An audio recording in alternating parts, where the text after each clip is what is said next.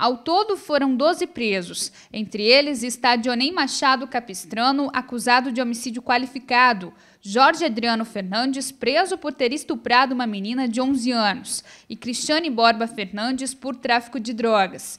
De acordo com o delegado, a operação Limpando as Ruas ocorreu durante todo o dia de hoje, a fim de cumprir mandados de busca e apreensão em abertos. Hoje em Lars nós temos aproximadamente 300 pessoas circulando, circulando aí com mandado de prisão aberto. O objetivo nosso é acabar com esses mandados de prisões em abertos que estão aí no, no sistema é estar tá desenvolvendo aí diligências, uma força-tarefa para cumprir e retirar essas pessoas das ruas aí. O delegado explica ainda que só no primeiro semestre desse ano a região serrana teve um aumento na criminalidade de 50% comparado ao mesmo período do ano passado.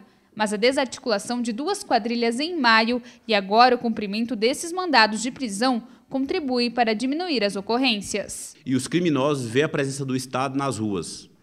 E aí se sentem, a população se sente mais segura e os criminosos se sentem coagidos, no sentido de que ou saem da cidade ou se apresentam para a justiça. As pessoas detidas hoje foram encaminhadas ao presídio regional de Lages.